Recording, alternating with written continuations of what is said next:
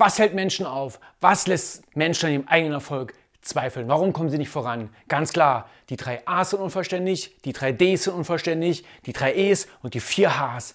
Was dahinter steckt, das erfährst du jetzt. Bleib dran, es wird Zeit für Power On!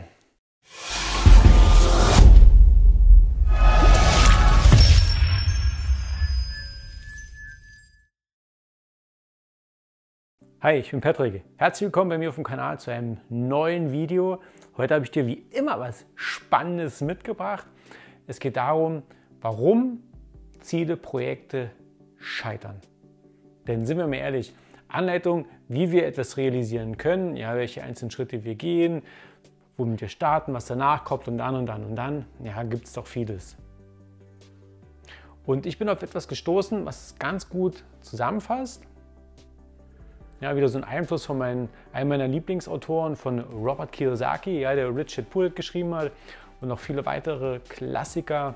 Und hier bin ich auf etwas gestoßen, wo es gut zusammenfasst in ja, vier ja, Themen, Kapitel, ja, vier Themenüberschriften. Und schau mal, vielleicht ist da eins dabei, was dich anspricht, wo du sagst, hm, kenne ich, das fehlt mir an der einen oder anderen Stelle auch oder das hätte ich gerne ein bisschen mehr oder Vielleicht sagst du hinterher so, sogar nach dem Video, Mensch, jetzt wo ich es weiß, jetzt weiß ich, wie ich das Ganze realisieren kann.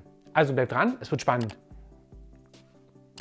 Also das erste sind die 3Ds. Desire, Drive, Discipline. Ja, wir kennen auch alle Leute, die haben Wünsche, die haben Ziele, die haben Träume, die haben Vorhaben, die sie realisieren möchten, finanziell frei zu werden, raus aus dem Hamsterrad, reich werden, ein Riesenvermögen anzusparen, irgendwas zu erreichen. Und was fehlt? Es fehlt der Antrieb und oder die Disziplin, es anzufangen, durchzuführen und zu realisieren. Und ich kenne das zu Genüge. Das ist für mich ah, ja, ich habe immer so viele Ideen, ich bin so voller Inspiration, so voller Kreativität. Ja, ich wach früh auf, ich habe zehn Ideen. Meine, für meine Frau ist manchmal schon so, oh Gottes Willen, was hat er denn jetzt schon wieder? Und da dann sich auch mal eins rauszunehmen und das wirklich durchzuziehen und zu realisieren, das ist dann immer die, die Challenge, ja, wo dann oftmals so der Punkt ist, ja Mensch, die Disziplin ist ja da, nur wo und wie fange ich denn an? Ja, ich habe einen Wunsch, aber da jetzt mal so ins Handeln zu kommen, kann man sowas üben? Klar kann man sowas üben. Für mich ist eine wunderbare Analogie, wie bei allem, das Fahrradfahren. Ich fahre leidenschaftlich gern Fahrrad, ich bereise Länder, ich fliege irgendwo hin, buche meinen Hinflug an dem einen Punkt und den Rückflug vom anderen Punkt. Ja, zuletzt, letztere größere Reise war von Singapur nach Vietnam, nach Ho Chi Minh Stadt. Ich hatte den Hinflug nach, nach Singapur und den Rückflug von Ho Chi Minh. Das war mein Wunsch. Von hier los, da ankommen, von da zurück. Ich musste zurück, weil von da ging mein Rückflug. Ja, am Anfang war die Disziplin natürlich so, hm, Mensch, alles so schön, neues, neues Land, neue Kultur, alles so spannend. Wann ist man schon mal in Singapur? Und doch war dann wichtig, einfach anzufangen, sich aufs Fahrrad zu setzen und anzufangen, in die Pedale zu treten. Und dann war ich natürlich auch da und dann hat das Ganze auch funktioniert. Ja, was ich damit sagen will, eine einfache Analogie dafür, um etwas zu realisieren, ein Bild, um es wirklich darzustellen, ist Fahrradfahren. Wie kommt man am besten vorwärts? Man setzt sich auf sein Fahrrad und tritt in die Pedale und schon geht's los. Mehr ist es nicht. Ja? Und das ist es halt, was, was vielen fehlt, Antrieb, Disziplin.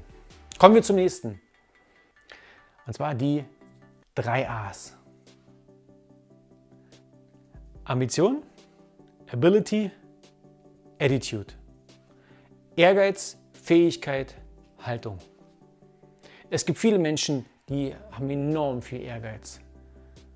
Geht dann schon so in die Richtung krankhaften Ehrgeiz, dass es einfach durchgezogen wird mit aller Macht. Ja, ich will das jetzt haben, ich will es jetzt realisieren. Und was dann aber fehlt, ist die Fähigkeit, sich auch nochmal weiterzuentwickeln. Vielleicht auch mal zu reflektieren, ist der Ehrgeiz jetzt in die richtige Richtung gelenkt? Geht es in die richtige Richtung? Ich habe jahrelang auch im Vertrieb war ich unterwegs und ich hatte Kollegen, auch Teammitglieder, die waren schon etwas über ehrgeizig. Die Dinge wurden durchgezogen mit aller Macht. Ja, egal was da kommt, dieser Ehrgeiz war da. Einfach Scheuklappen auf, durch und ohne Rücksicht auf Verluste, auf Teammitglieder, auf die Teamstruktur, auf das Klima, was, was drin war. Einfach Ellbogen raus und durch, weil der Ehrgeiz, der war einfach zu stark, der war zu groß. Es musste einfach durchgezogen werden. Ja, was halt gefehlt hat, ist mal so ein bisschen Selbstreflexion, mal zu gucken, sich mal weiterzuentwickeln. Ist das vielleicht alles so, Anführungsstrichen, gesund? Sind da vielleicht mal, sind nicht mal so ein paar Punkte, wo man mal so hinterfragen kann, ja, ist das jetzt hier alles so in Ordnung? Bin ich denn hier wirklich allein oder sind da vielleicht nicht noch andere? Also Ehrgeiz ja, doch gleichzeitig auch die, die Fähigkeit, sich weiterzuentwickeln, da auch mal zu schauen, sich selbst auch mal zu hinterfragen und zu reflektieren, was auch mal sehr gut dazu führen kann, dass Projekte nicht realisiert werden. Kommen wir zu den drei E's. Education, Experience, Execution. Erziehung, Erfahrung, Ausführung. Also Erziehung heißt auch Bildung, Wissen, was haben wir uns angeeignet. Denn es gibt so viele Menschen, die sind vollgepackt mit Wissen. Ja, der Kopf ist voll mit, mit Büchern, mit Inputs, mit Kursen, mit Seminaren, mit Infos, mit Lesen, mit Blogs und alles ist hier drin und Podcasts und YouTube-Videos, zack, zack, zack, immer rein, rein, rein, rein. Und was fehlt? Es ist der Transfer, das Umsetzen. Denn was nützt dir denn das ganze Wissen? Wissen ist Macht, sagt man, ja, das ist richtig. Doch was macht dich machtvoll?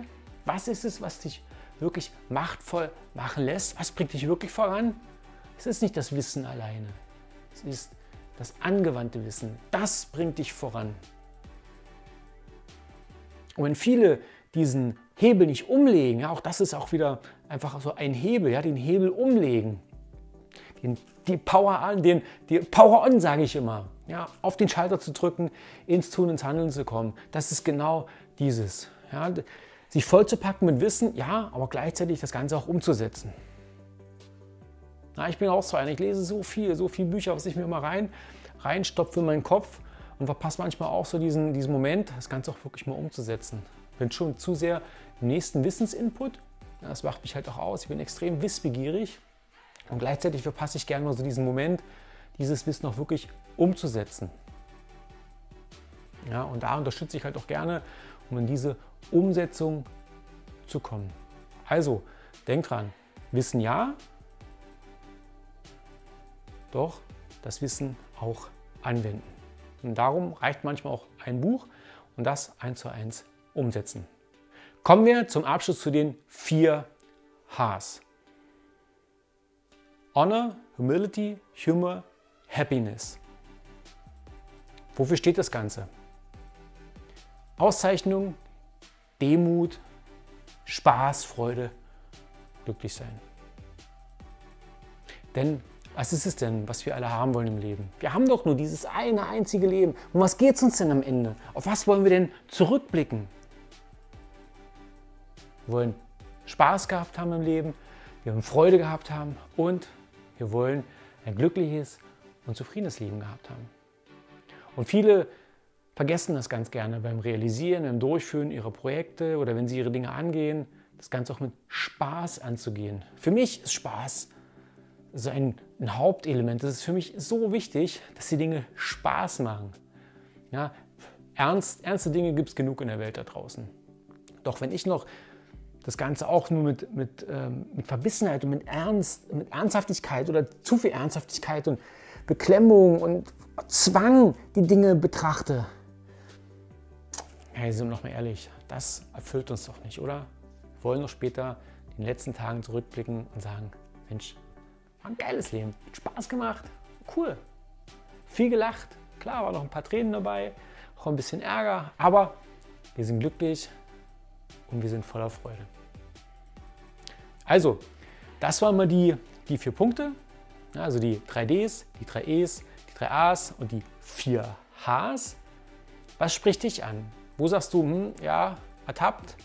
Ja, Mensch, hm, weiß ich, da ist genau mein Punkt. Oder vielleicht ist sogar ein Punkt, wo du sagst, Mensch, Danke Patrick, danke für das Video. Jetzt weiß ich, was mir noch gefehlt hat oder wo der Stachel sitzt. Lass es mich wissen. Lass uns gerne in den Austausch gehen.